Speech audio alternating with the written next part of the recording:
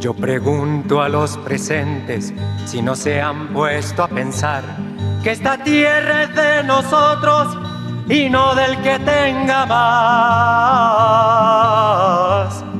Los días 6, 20 de abril y 4 de mayo del presente año se realizó el taller de Economía Política con el tema denominado ¿Por qué estamos como estamos? organizado por el Sindicato de Trabajadores del Magisterio de Chimaltenango, Citramchi, colectivos de lucha y resistencia, CLR, y el colectivo de Educación y Formación Política, CEFOP, y Shimuleu. Esta actividad fue realizada con organizaciones de diferentes grupos sociales dentro del país, por lo que el secretario general de dicha agrupación se refirió.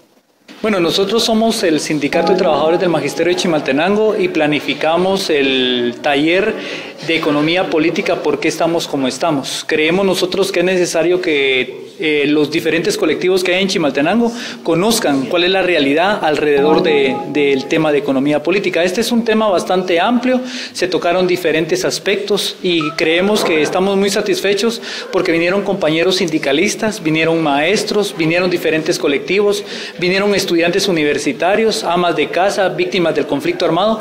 Eh, tuvimos una presencia de 30 personas, eh, no lo extendimos más por, porque utilizamos una técnica de educación popular.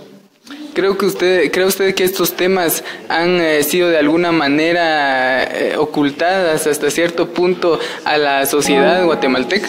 Sí, desgraciadamente el sistema que vivimos en Guatemala nos impide muchas veces conocer estos temas. El sistema educativo tradicional, digamos, está diseñado para ocultar esto. Eh, la gente lo conoce, lo vive, lo siente, que es lo más duro, pero no lo sabe explicar. Entonces nosotros a través de la metodología de educación popular de Paulo Freire, eh, nosotros tratamos en la medida de nuestras posibilidades de utilizar diferentes herramientas para que los compañeros y compañeras estén más cercanas a este tipo de, temas. Ahora bien, eh, lo que sí queremos dejar claro es de que eh, el taller lo que busca es que la gente se cuestione no damos respuestas, damos más preguntas que respuestas.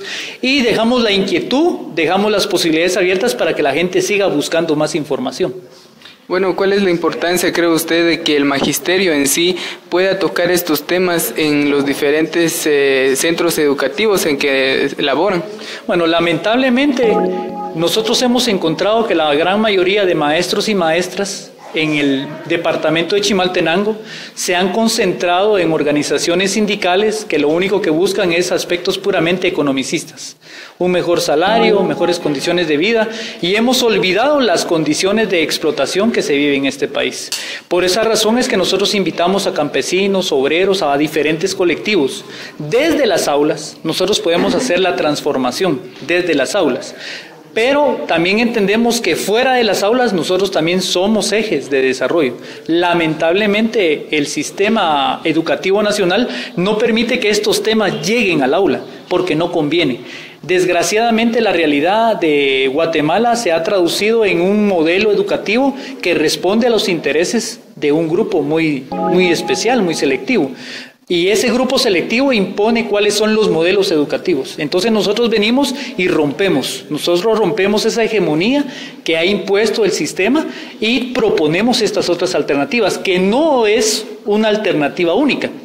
Se va construyendo con la participación de los compañeros y compañeras. A desalambrar, a desalambrar, que la tierra es nuestra, es tuya y de aquel, de Pedro y María, de Juan y José.